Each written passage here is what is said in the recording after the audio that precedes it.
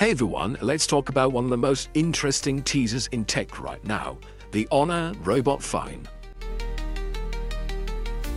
Yep, Honor is developing a smartphone with a robotic camera arm that literally pops out and moves like a tiny AI companion.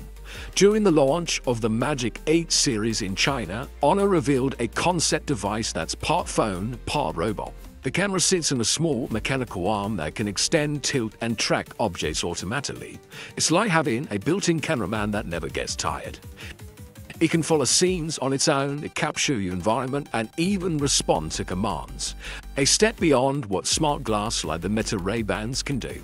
In the teaser video, we see it helping pick outfits, film a skydive,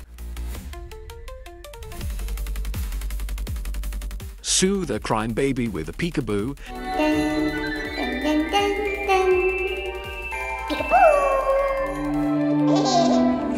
and even track stars at night.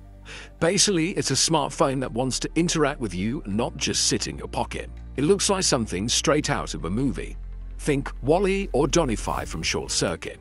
Honor says it's part of the vision for a new era of human-machine coexistence. They want future phones to sense, adapt, and evolve autonomously.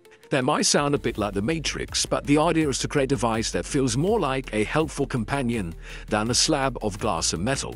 We'll get the full reveal at Mobile World Congress 2026 in Barcelona. Until then, the robot phone remains one of the most intriguing signs of where AI and robotics are heading in consumer tech. If you want more updates on futuristic devices like this, hit like, subscribe, and stay tuned for more Tech Explained Simple. And that's your robot news update for today. If you're curious how robotics can transform your business, don't forget to subscribe to stand the loop with the latest updates. Thanks for watching, and I'll see you next time.